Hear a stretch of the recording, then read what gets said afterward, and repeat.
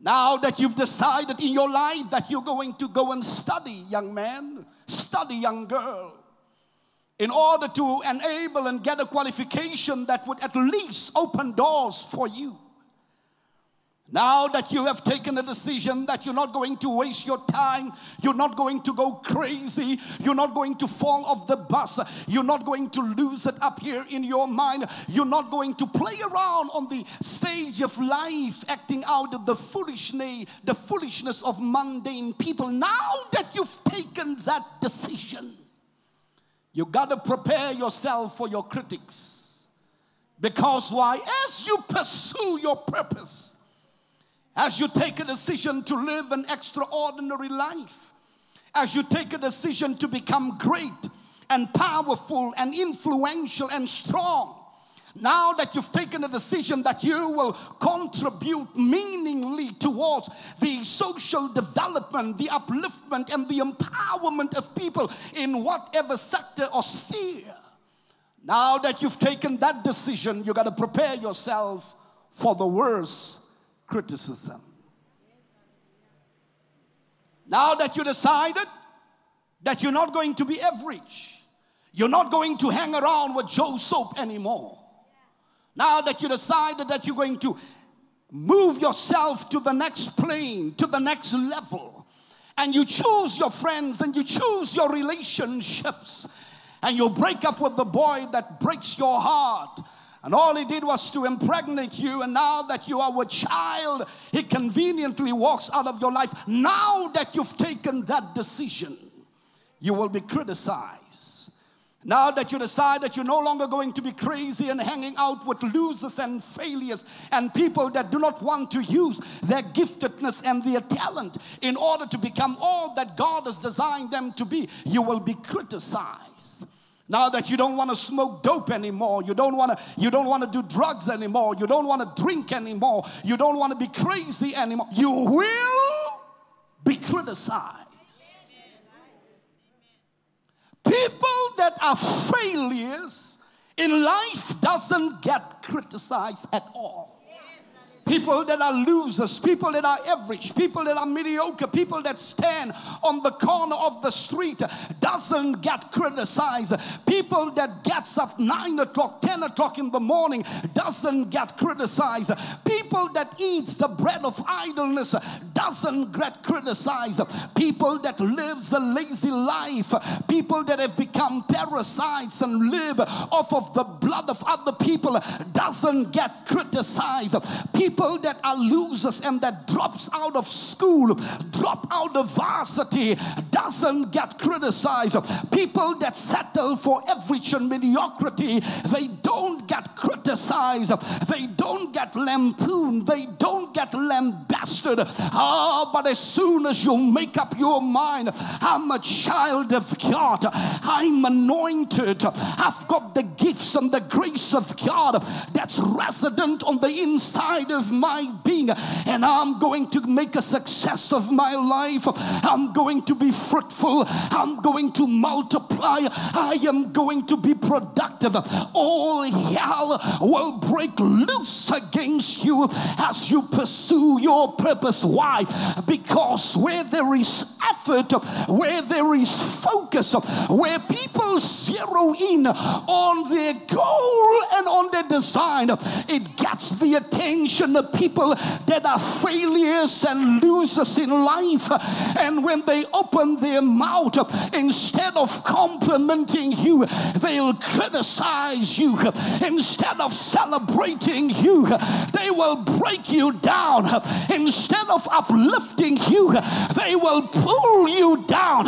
Instead of telling you how gifted and how able you are, they will tell you, well, you don't have what it takes.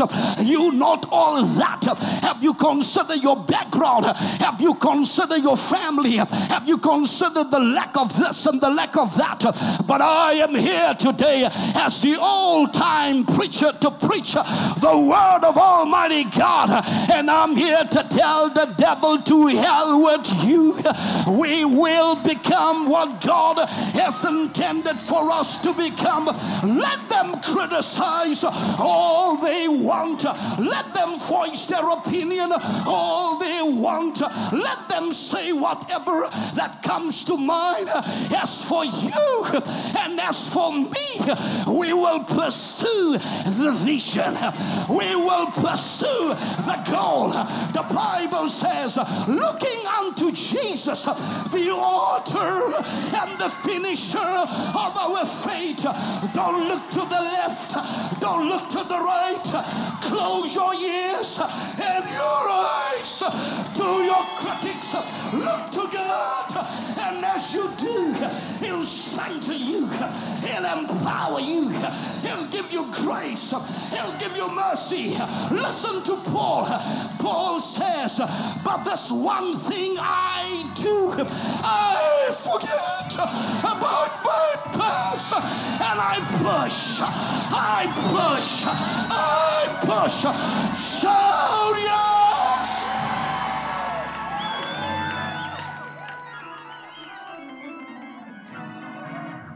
When you try to be different, people will criticize you.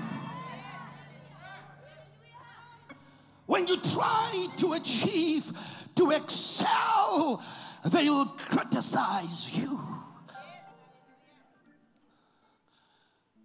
When Jesus was walking on the people's planet, look at his critics. They said unto him, You are a bastard. They said unto him, You are a wine bibber. You are a friend of thieves and sinners and wicked people. They said unto Jesus, You are an illegitimate child. They said unto Jesus, You are possessed of the devil. They criticized him. They said, This fellow, isn't he the son of Mary and Joseph, whom we know? How is it now that he comes and present himself as the Son of God? But there's one thing about Jesus that you need to learn. Jesus did not pay attention to his critics. You see, your critics are there to derail you. Your critics are there to get you to lose your focus. Your critics are there to get you to lose your grip. Your critics are there to get you to waste your creativity and your time with non essential issues. The more time you spend listening to your critics, the less work you get done. People hate achievers. I've come to preach.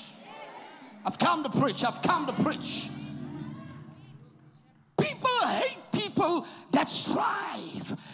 Wants to break out of the mold, that wants to break out of the cocoon, that wants to break out of the stranglehold. You see, as long as you average and you're a failure and you're a loser and you you live a mediocre life, you you you everybody's darling, oh darling, yeah, oh darling.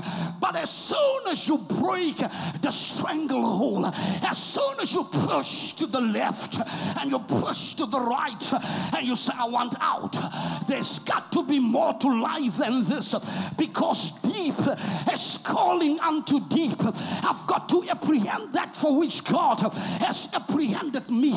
All of a sudden, here comes the devil and tell you why you can't, and while you'll fail, and why you will not succeed, and while you will not be fruitful, and while you will not be successful. Listen to me, child of God. You don't pay attention to your critics. Even your family will criticize you. Your mother might criticize you. Your father might criticize you. Your brothers might criticize you. Your sisters might criticize you. Family and friends might have their opinion. Paul says, if any man be in Christ, he's a new creation. They relate to you after the flesh, but God relates to you after the new man of the Spirit. And Paul says, We can do all things through Christ, which strengthens us. You got to push yourself. You got to pull yourself. You got to get up, get up, dirty your hands. You got to get focused, see the vision. You've got to be willing to pay the price. You've got to break out of the mold. You've got to break out of the stranglehold. You've got to break out of the cocoon and push, push. I say push. I say push until something gives. I say push until something breaks. I say push until something falls over. I say push until things step out of your way. I say push until giants bow and declare that you are the anointed of God. I say push until doors begin to open and people say, Come in, thou who art highly favored of God. I say push until you are taken from glory to glory. I've come to preach. Shout yes, shout yes, shout.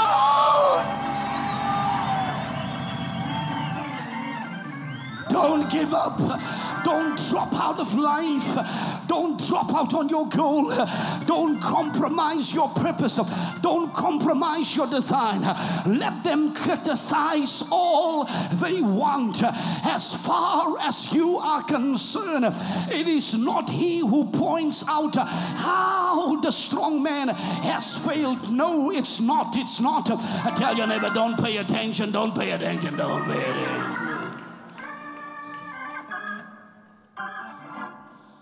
Is it he who criticizes the doer of the deeds and says, Well, it was supposed to be done that way. If you know how it is supposed to be done, why don't you do it yourself?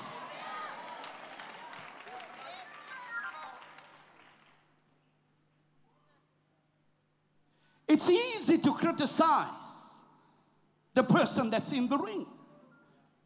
It's easy to criticize the person on the floor. It's easy to criticize the person that's running around on the field with bruises. I look at the rugby players and I look at how they bleed at times. I look at how at times, I mean, their joints are broken. One gets broken here and one gets broken over the other side. But in spite of that, they push and they play. I look at the boxers. All the critics do is to sit by ringside. They are now this very important, formidable people, opinionated people. All they do, they'll sit there and they've got a pen and they've got a book and then they'll have an opinion. Say, well, the fight was supposed to go this way, and Ali was supposed to do that, and Frazier was supposed to do that, and Hagler was supposed to do that, and Sugar Ray was supposed to be that. That's all they can do. Sit there the whole day and talk rubbish. Sit there the whole day and voice their opinion. Sit there the whole day whilst they don't understand the dynamics of, of what it takes to stand in that ring. They don't know what it takes to absorb a punch in your body. They don't know what it takes to absorb a punch to your head. They don't know what it takes to stand there bleeding, but they've got an opinion. They say you should have thrown a left hook, a right jab. If it was so easy as you said, Mr. Spectator, why didn't you come into the ring and fight the fight yourself.